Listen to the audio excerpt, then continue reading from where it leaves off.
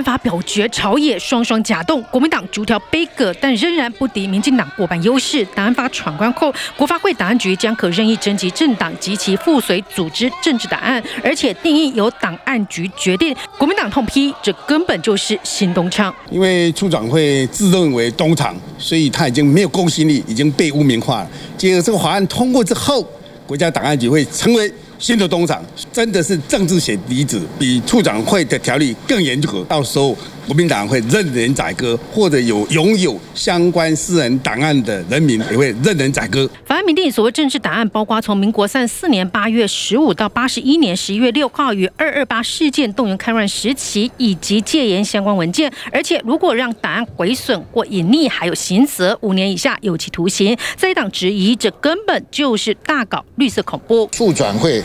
自己的这个这张天青的东厂事件到底怎么回事？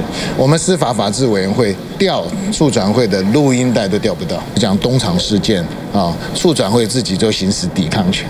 然后三一九征调会的时候，这个呃被指称是嫌犯的人居然落水溺毙，然后遗书也被焚毁。